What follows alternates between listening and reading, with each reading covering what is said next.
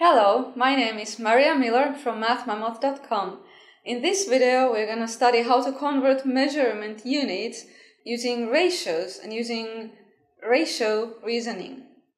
And if you've never seen this before, it can look a little bit odd at first, but I assure you it is a good tool, a good method that works for all kinds of measuring units and is very useful in science. Okay, it is based on making ratios or making, some people call it making a special number one. But this is the basis of it. Let's say I have a conversion factor here. 1 foot equals 12 inches. Now I will treat it as an equation and divide both sides by 1 foot. Okay? So what happens if I divide this side by 1 foot? 1 foot divided by 1 foot is just 1. 1. And then over here I get 12 inches divided by 1 foot. Okay? So this here now, 12 inches divided by 1 foot. It is as if a fraction, but it is also a ratio. 12 inches to 1 foot. Now, I can also, in this equation, if I go back to my original equation, 1 foot equals 12 inches, I could also divide both sides by 12 inches. And then I get another one. If I divide here, I divide this side by 12 inches, I get then 1 foot divided by 12 inches. And then on this side, 12 inches divided by 12 inches is 1, okay?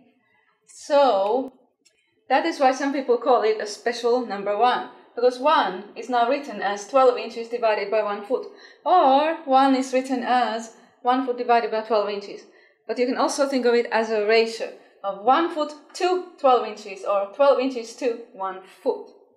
Now, when we are converting something, this we're going to convert feet to inches. You probably already know how to do it, but I want to show you with a simple example how this works using these ratios in conversion.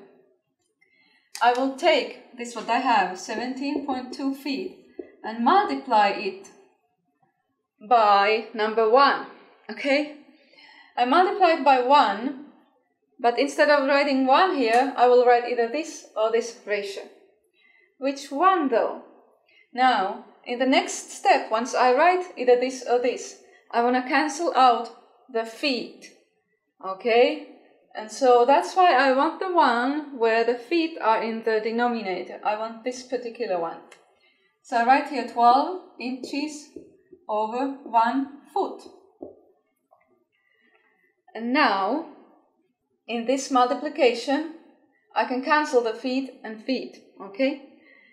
Uh, if, to see that, you have to be familiar with, for example, fraction multiplication and fraction simplifying.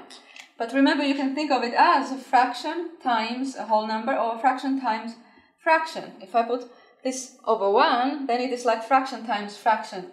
The feet here will cancel out, okay?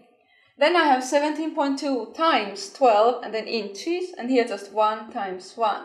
Now I'll use the calculator for the multiplication. Okay, 17.2 times times 12 and I get 206.4 inches. The inches here, it does not cancel out, so the unit inches is still there.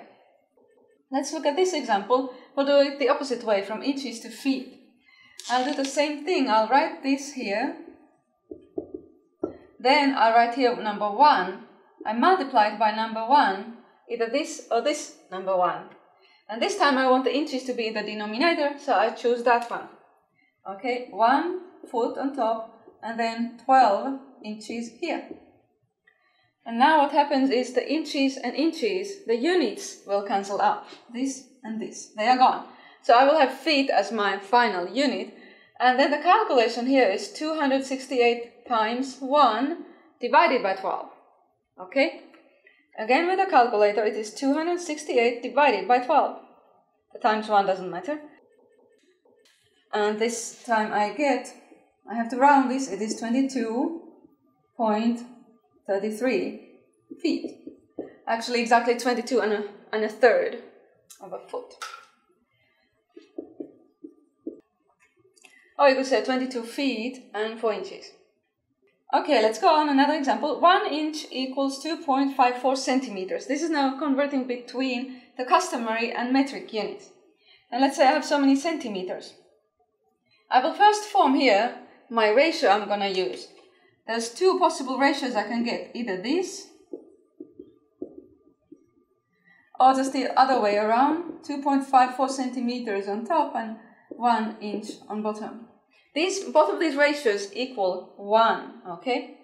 And so over here, I take 171 centimeters and multiply it by 1, either by this or this. I want the centimeters be, to be in the denominator, so I'll choose this one, 1 inch over 2.54 centimeters.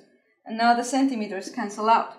Then what I will do is 171 times 1 divided by 2.54. So 171 divided by 2.54. And this is approximately 67.3 inches. Now the inches stay here, they don't cancel out. Over here we have a fraction here, but it won't matter, it will work exactly the same way. I will have 15 and 3 eighths inches. And I will multiply that times my ratio, either this or this. Now this time I will choose this one, so the inches will be in denominator, so I can cancel them out soon. 2.54 centimeters over 1 inch. Now these inches, inches, those cancel out. Then I have this multiplication here to do with my calculator. Your calculator may have a button for fractions where you can actually enter 15 and 3 eighths into it and then just multiply by the decimal. If it doesn't, then before you do this, convert 3 eighths into a decimal, okay? So 3 divided by 8, and we get 0 0.375. So this is actually 15.375, okay? And then that times 2.54. And we get about 39.05 and centimeters is our unit.